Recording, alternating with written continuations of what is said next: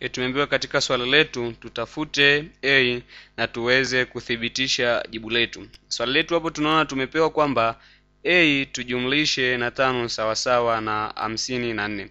Tukiangalia hapo a tunaona kwamba hiyo ni herufi ambayo tukijumlisha na hiyo tano ndo tunapata ni sawasawa na hamsini na nne. Kwa hiyo hesabu kama hili ni hesabu rahisi sana wala sio gumu.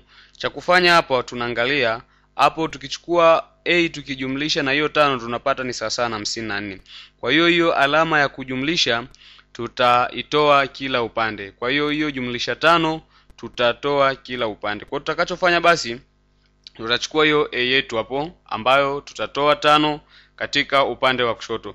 Kitu tunachofanya katika upande wa kushoto vile vile lazima tufanye na upande wa kulia. Kwa kama upande wa kushoto tumetoa tano na vile vile upande wa kulia lazima tutoe tano. Kwa hiyo na upande wetu wa kulia tutachukua hamsini na nne tutatoa ngapi? Tutatoa hiyo tano yetu. Baada ya kutoa hiyo tano yetu hapo tunaona kwamba kwenye upande wetu wa kushoto inabakia a. Na katika huu upande wetu wa kulia tutachukua hiyo hamsini na nne tutatoa hiyo tano. Ambayo hamsini na nne tukitoa tano tunapata ni sawasawa na arobaini na tisa. Kwa hiyo tumeweza kupata herufi yetu hiyo a. A ni sawasawa na ngapi? Na arobaini na tisa.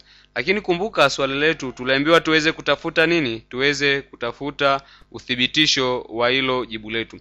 Kwa sasa tutakuwa tuna tunaingiza hiyo arobaini na tisa kwenye hiyo a. Kwa tutachukua arobaini na tisa hapo tutajumlisha tano ni sawasawa na hamsini na nne tukichukua arobaini na tisa tukijumlisha tano ni sawasawa na hamsini na nne. Kwa hiyo tunaona kwamba jibu letu ni sawa. Asanteni sana